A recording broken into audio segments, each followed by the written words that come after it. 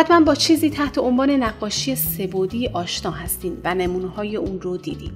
نوعی نقاشی که زمینه های زیادی رو برای خلاقیت به وجود آورده. تماشای امروز یک نمونه از این نوع نقاشی و نحوه کشیدن اونه.